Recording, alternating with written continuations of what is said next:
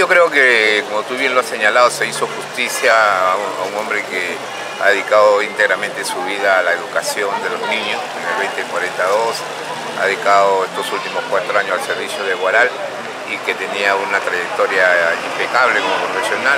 Yo creo que eh, parte del Ministerio Público ha existido una, eh, una investigación muy superficial y en base a eso solicitaron una detención preliminar. Me parece que en ese sentido eh, del, profesor Oscar Toledo ha sido un acto plenamente de injusticia.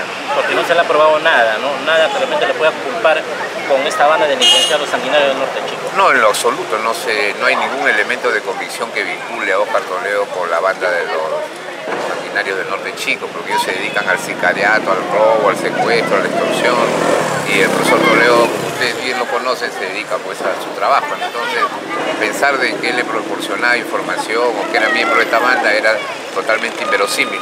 Pero en fin, eh, lo más importante creo que ahora ya lo tenemos nuevamente en Guaral, en la gerencia municipal y seguiremos trabajando hasta el 31 de diciembre por el bienestar. Así, definitivamente a él no se le encontró nada, digamos, eh, algo comprometedor, solamente algunos vouchers de repente de pago cuando hacía el cobro en el Banco de la Nación, algunos USBs donde había las clases que editaban los alumnos, y otros documentos que nada le vinculaban justamente con esta banda delincuencial. Claro, cuando allanan el domicilio de Oscar Toledo, eh, me llamó la, señora Ana y inmediatamente fui, estuve en toda la diligencia de incautación de allanamiento y no le encontraron absolutamente nada.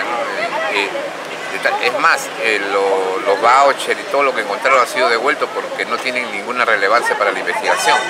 Entonces creo que ahí la Fiscalía ha actuado con mucha ligereza al pedir la detención preliminar de una persona, eh, de un gerente municipal, en base solamente a tres audios donde un trabajador de construcción civil decía que se iban a conversar con el profesor Toledo, pero iban a conversar porque obviamente nosotros nos hemos reunido eh, muchas veces con el sindicato, con los tres sindicatos, porque ellos tenían demandas laborales respecto a las empresas que no cumplían con las obligaciones sociales.